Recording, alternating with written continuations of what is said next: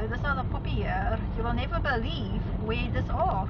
This are inside the grounds of a particular prison. Prison. Yeah, I can't believe it myself. I, they are looking very nice. There are even like haystacks over there. Haystacks, you know. People have a lot of fun in haystacks. But anyway, yeah, so this are inside the grounds of a certain prison. Um, but I can't say exactly where because I don't want to get into trouble. But they are unbelievable. I, it yeah, I mean, I thought a prison was supposed to be in a very horrible place.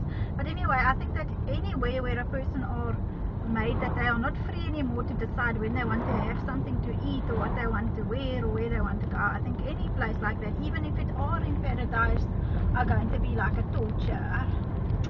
Yeah, anyway, that are just my opinion. Okay, I'm going to go now. Bye.